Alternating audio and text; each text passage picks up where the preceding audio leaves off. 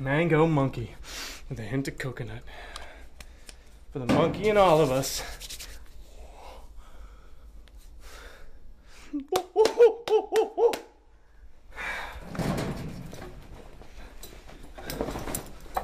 It's been a lot of long hours. When C acquires Purple Eggplant Technology, both companies would really benefit.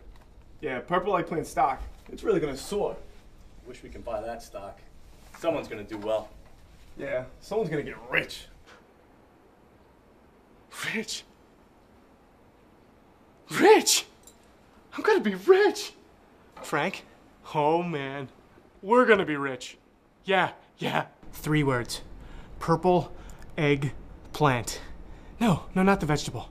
Dude, look, you just. You gotta buy stock in this purple eggplant technology. We're doing a mega merger and we are gonna be rich. We're gonna have a mattress like Oprah full of money. Yeah, put it all in. Yeah, awesome.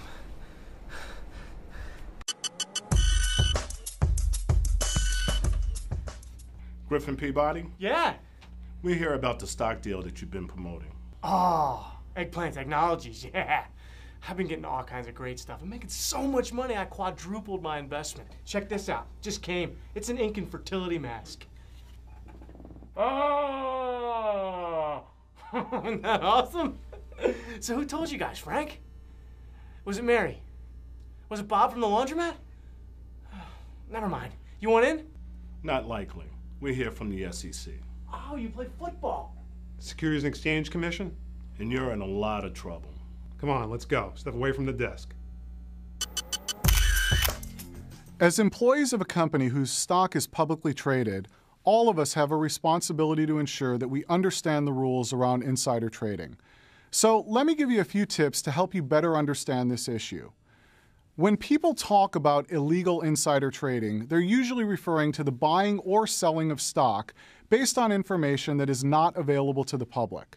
Think of it this way using any CA Technologies confidential information for your own personal gain, or communicating such information to others, like colleagues, friends, or relatives, who might use it for their own benefit, is insider trading. All CA Technologies employees have a duty to keep non public information secret. The types of material non public information that you must safeguard and whose disclosure could get you into trouble under insider trading rules include information about a potential acquisition or divestiture, information about a potential business deal like a large agreement with a supplier or partner, information about the company's financial performance in a fiscal quarter or fiscal year prior to that information being publicly disclosed, and information about a new product launch or significant change to the company's business or business structure. If you're in possession of this type of information, you may not trade securities based upon that information or share it with anyone who might. Trading stocks based upon this type of information or sharing it with someone who might is illegal and a serious violation of CA Technologies policy. I urge all of you to think before you act so you don't end up getting into serious trouble like Griffin did in the video. For more information about the rules around insider trading, please review the CA Technologies Code of Conduct and insider trading policies.